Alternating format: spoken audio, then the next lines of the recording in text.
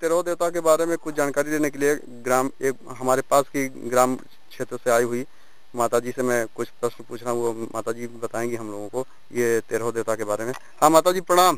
कुशल से बल्ला बेटा। हाँ, बतावे जो ये देवता आप कहाँ के रहे वाला है? कहाँ से आ रहे हैं?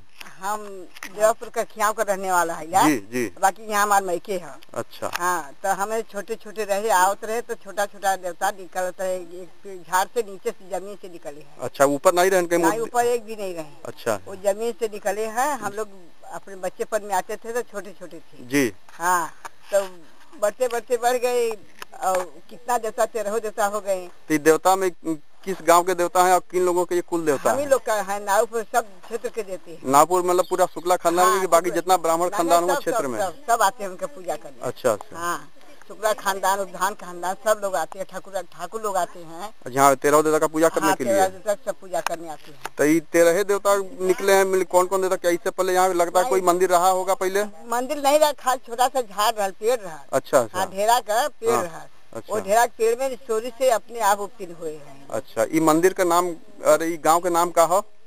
बराई? हाँ बराई बिसुई बराई यही गाँव के हाँ, बोला जाला। बोला अच्छा ये जौनपुर जिला में किराकत के लगे हो ना हाँ, ये हाँ। अच्छा अच्छा जी। ठीक हो माता जी अब तो हर शादी हो तो हमन एक नावल जाए ठीक है हमार हमार शादी हुई तो हम ज़रूर आई बेटी यहाँ पूजा करब आपके पूरी यही खियाई मंदिर में पूरी खियाई बाप के।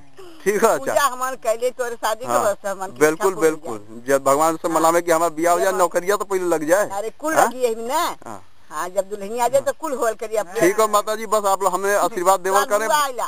बस आप हमें आशीर्वाद देवल करें हम आपसे है ठीक है अच्छा। प्रणाम। कुशल से